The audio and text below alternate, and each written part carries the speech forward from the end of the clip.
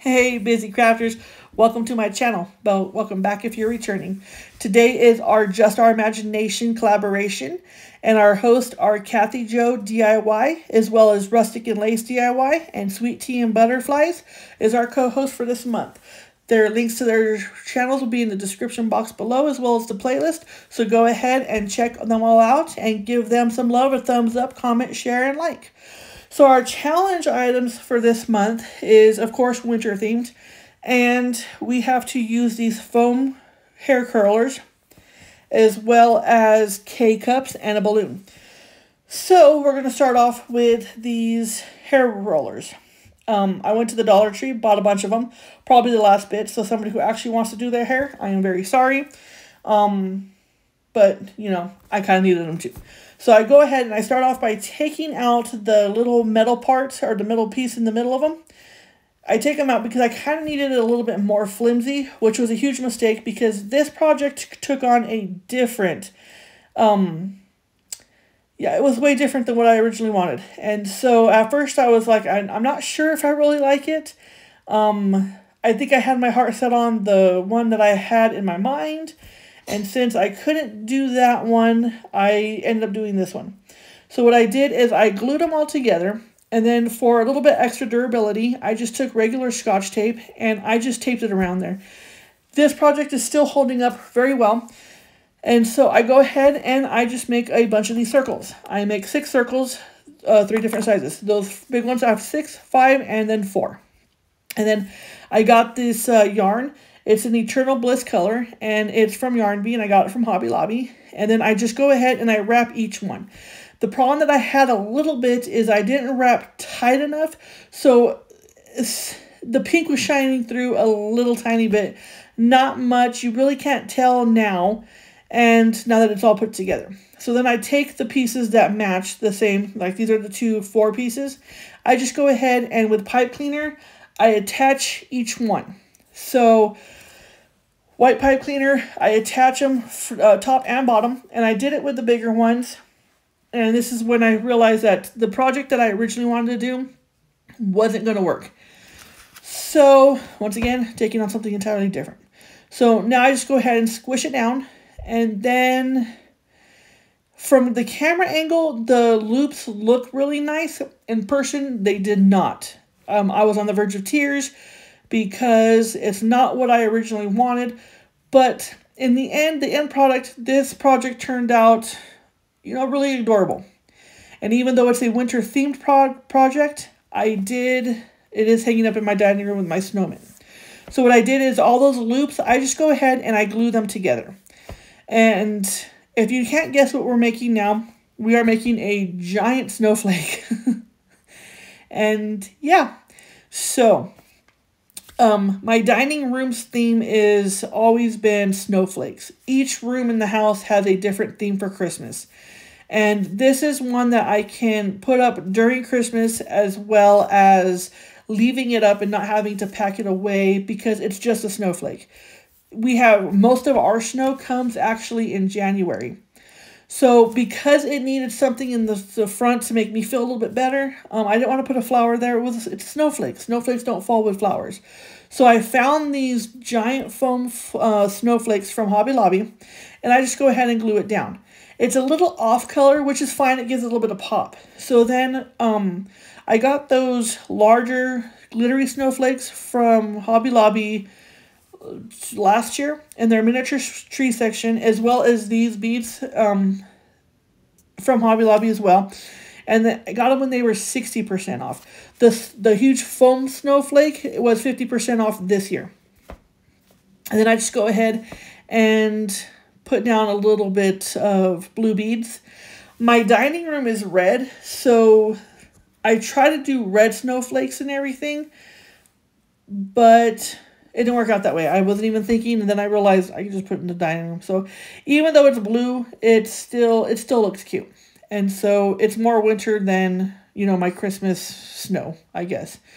So then I got that uh, blue, yeah, blue snowflake ribbon from Hobby Lobby as well. It was also 50% off, and it was nine ninety nine a roll. So I got it for like five bucks. And then I just go ahead and glue it to, you know, glue it down. I glued it up a little bit on the flakes. And then from that same gems, I just put big pearls around it and put a little blue gem in the middle, as well as big gems from the same gems. And then there you go. There is our hair foam roller or hair or our foam roller hair curlers DIY project for winter. And let me know what you think. Um, let me know what you would do different. Um, if there's something that I could have done different that made it a little bit better, I'd really appreciate you telling me in the comments below. Um, right now, I want to so go ahead and say thank you so much to all my subscribers. I appreciate every single one of you from the bottom of my heart.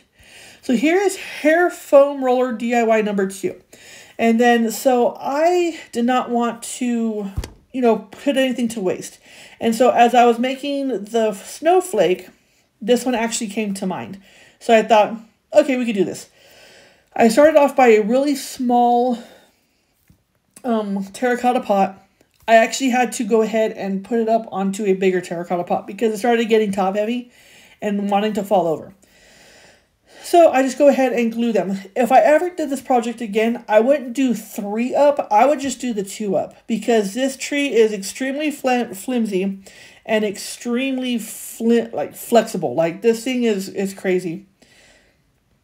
It really is. So I ended up having to go back and bracing it a little bit with a dowel rod. But this thing, you, you can also bend it too. So I go ahead and I got those tiebacks that look like uh, wreaths. They're four wreaths that you can like add things to the wreath that not meant not like, you know, it blends in. So I just go ahead and I wrap that around the pool and then I wrap it around the little foam, styrofoam ball that I got from Amazon. And yeah, so I just go ahead and wrap it all the way around. Um, I did have to upgrade the terracotta pot to a bigger one. I just put the small terracotta pot into the big one. And that's just how, you know, I did it. And then I go ahead and take these. I used this whole pack as well as two or three out of the other pack. So I still have some left. But this one, it turned out cute. Um, where I live in the mountains, we actually do have trees that look like this. So it's not a crazy tree. It's not like, you know, a weird tree. I actually do have trees like this where I live. And they do look like this with the snow on them. So I just go ahead and I cut them in different lengths. And I just go ahead and start glue, hot gluing them to the, to the pole. And yeah. Um, even though there's a little bit of a brace to keep it from toppling over, um, you can still bend it. Like it still can bend. You can put it into weird, you know, situations.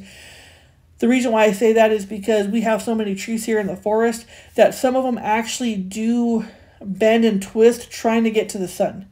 So you could be walking through the forest and see some really weird, twisted, bendy trees.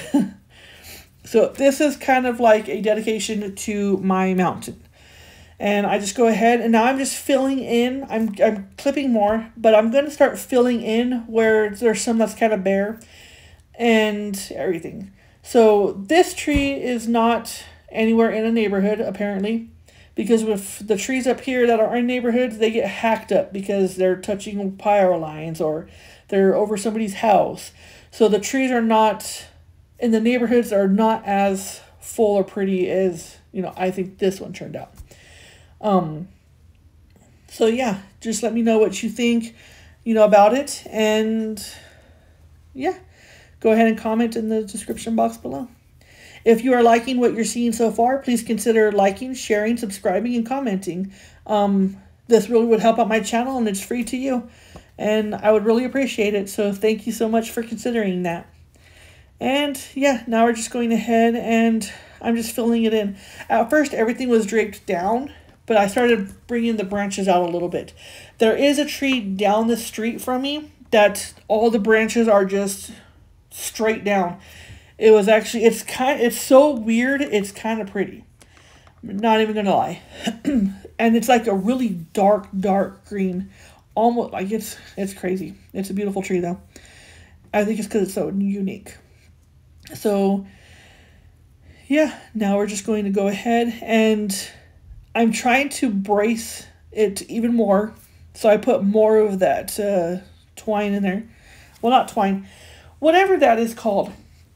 I have no idea what it's called. So, yeah. Sorry, guys. I was getting over, I'm just getting over a really bad cold. And so my throat got all of a sudden really dry. So I needed to get a drink. So I did do a poll on my YouTube channel, and it seems like everybody wants Christmas. There is a couple that want decorations for your ornaments, and then there is a couple that want winter. Well, this is a winter DIY. It's nothing to do with Christmas. It's just winter, and it is our Just Our Imagination collaboration for the month. So, I am doing I am going to be doing more Christmas as well as I am going to be doing another ornament one for Christmas as well. And there's another collaboration coming up that has winter as well.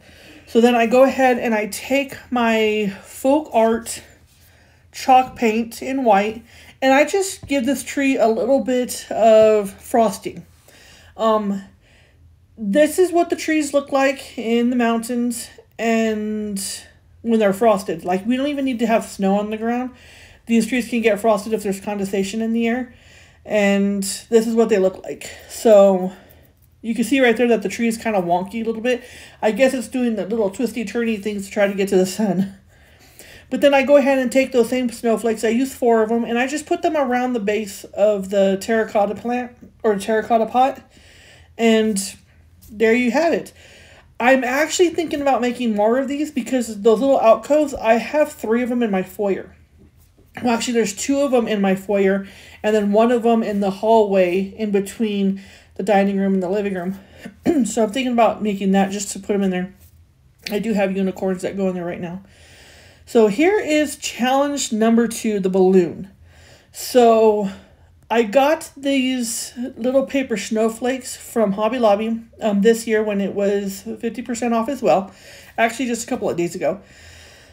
Not even that. I think it was like two weeks ago because I was stuck in the house for being sick, which was terrible. Terrible, I tell you, terrible. But um, anyway, so I go ahead and I started to try to glue things down to the balloon.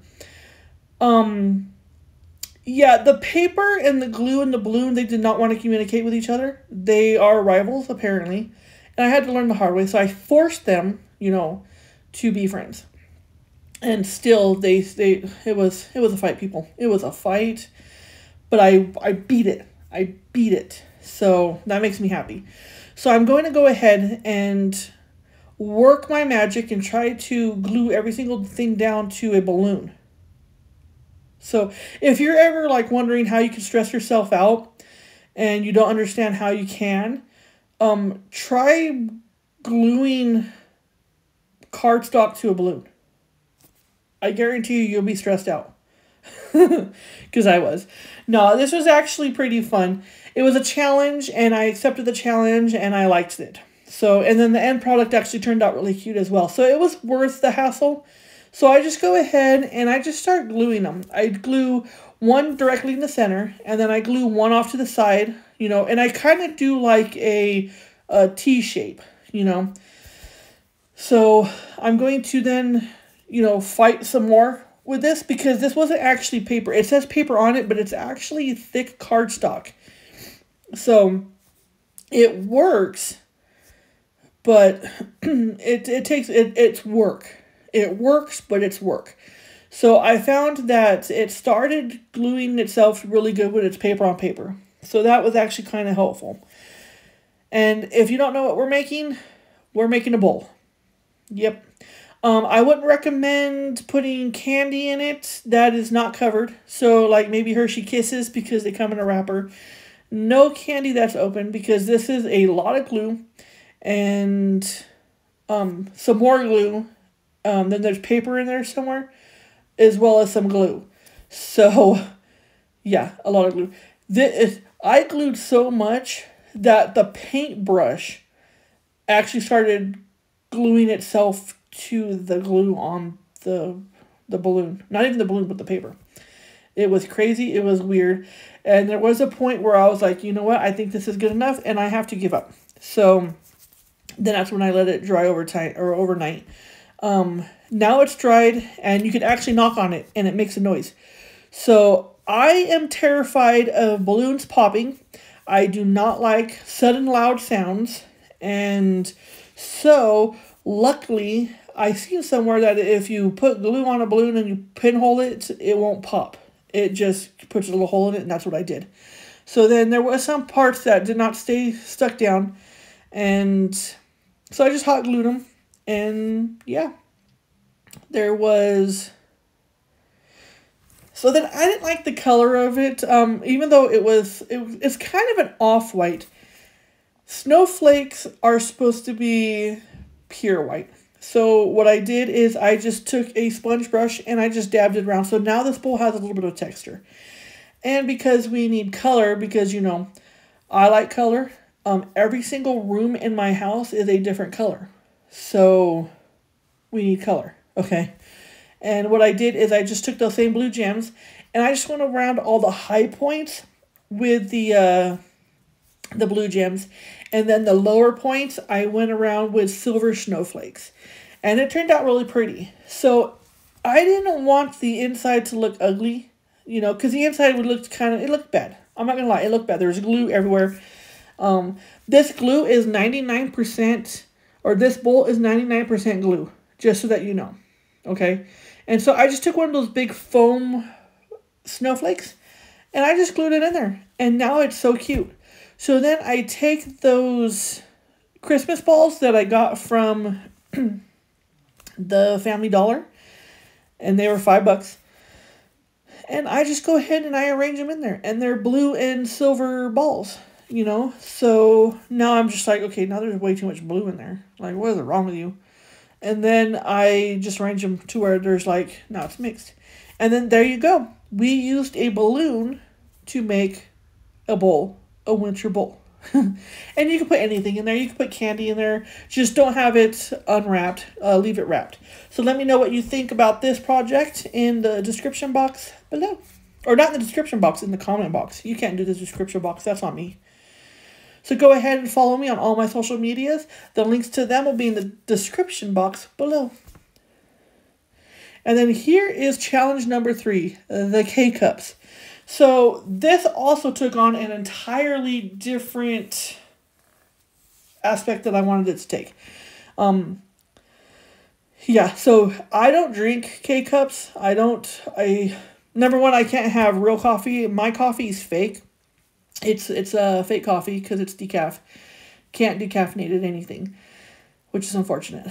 But um, so these K cups were a real challenge to me because they have a filter inside of them and trying to get that filter out just was like not working i'd probably be here for another 12 years trying to get all of the bits and pieces out of that k-cup yeah i don't have time for that so what i did is something entirely different so what i did is i go ahead and we got exercise equipment and they had like a really thin piece of the styrofoam in there and that's what i'm using for this project as well as the K-Cups.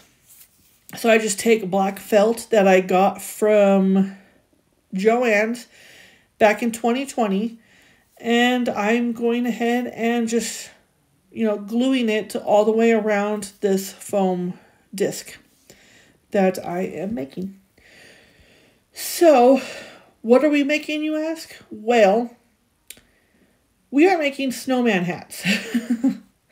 Like I said, my dining room is full of snowmen, and even though this is not a Christmas decoration, it is a winter decoration. The snowmen that I have in my dining room are for Christmas. They're in the reds, the greens, all that stuff. Um, but this is one that I can also keep up because it's just a snowman hat. And like I said, we do a lot of our snow. Our snow comes a lot in January as well as uh, February. And then just this March 2023, we had about 15 feet of snow and there was buildings collapsing and everything. Also, we get snow in May, which kind of like really breaks my heart because I like to garden. and you can't put new plants out there if there's a chance of frost. So yeah. So what I'm doing is going ahead and putting the the fleece all the way around the K cup as well. And then I bring it all the way down and then I fold it into the inside of each other. And yeah, this is going to be the the disc is the base of our hat and this is like the the tall part of our hat. And at first I was not really liking the way this was turning out. And then it grew on me and the more I added to it, the cuter and better it got. So although they took on a different a whole different project than what I was expecting to do. Um, yeah, I'm, I'm pretty pleased with them. So I go ahead and take that baker's twine that I got from the Dollar Tree, and it is a dark blue and white. And then I just go ahead and make a little loop-de-loop. And then in the beginning, I used my, uh, oh, finger knife, and I just poked the hole in the top of it, sent that little thing through after I tied a knot into it, and then I glue it to the top. And then, of course, I, I let it dry, you know. And then I'm going to take the K-cup, and then I'm going to glue around the edges, and then we're going to place it on the disc. And yeah, here we go. So now we're just going to go ahead and place it onto the disc. And at first, when it just like that, I was like, I don't know if I like it. I don't know what I, I don't know. I don't know if it's because I've been sick and not really doing much around any place. I'm barely getting my house decorated. I finally got most things decorated. The only thing I have to do is the kitchen. So I guess I better get on that as well. And so then I got that ribbon from Hobby Lobby as well. And both of them I am using from Hobby Lobby when they were 50% off. And then I needed, they needed something else. This, it's, it's winter themed. And so um, I had the leftover sock from the sock snowman.